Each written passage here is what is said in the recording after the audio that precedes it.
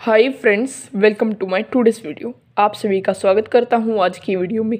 आज मैं आप सभी को कराने वाला हूँ पोस्ट मास्टर को डाकिए की शिकायत करते हुए पत्र। सो ये जो पत्र है, ये शिकायती पत्र में आ जाता है। हम स्टार्ट करते हैं। सबसे पहले हम क्या लिखते हैं? सेवा में।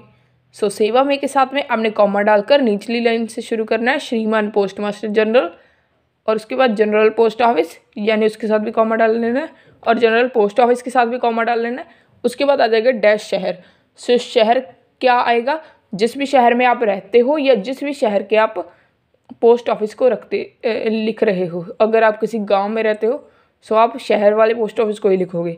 सो इसके लिए विषय, डाकिए की लापरवाही की शिकायत। सो ये आपने डाल देना है। इसके बाद आपने डाल देना डंडी। यहाँ पर कॉमेज ऐसी लग रही है, लेकिन मैंने वो डंडी डाली थी। पेन चला नहीं होगा वहाँ पर। सो हम आगे चलते हैं। नेक्स्ट लाइन में आपने लिखना है महोदय, और उसके बाद कॉमा डालकर जहाँ पर आपने कॉमा डाला है, वहीं से नीचे से शुरू कर दे रहे हैं निचली लाइन से। सभी ने निवेदन यह है कि मैं डैश नगर, जो भी आप नगर में रहते हो और जो भी आप शहर या गाँव में रहते हो, उसको कॉमा डालकर साथ में लिख देना है। मैं रहता हूँ। मैं अपने नगर का सामाजिक कार्यकर्ता भी हूँ। मेरे पास सामाजिक और व्यक्तिगत पत्र आते रहते हैं। हमारे नगर का डाकिया उचित व्यक्ति को डाक बहुत कम देता है और घरों के आगे लगे लेटर बॉक्स में डाक न डालकर गली के बच्चों को पकड़ा देता है जिससे बहुत से आवश्यक पत्र सही व्यक्ति तक नहीं पहुँच पाते।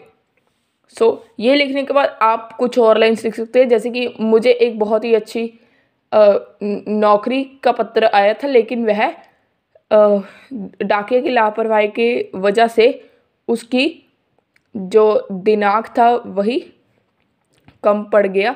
सो अब आगे क्या आपने लिख सकते हैं?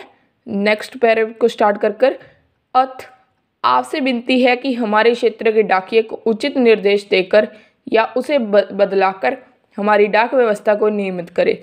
नीचे आपने लिख देना, भवदीय सो so, यहाँ पर आपने आप, अपना नाम लिखना है अपना पता लिखना है और जिस शहर में आप रहते हैं वो लिखना है।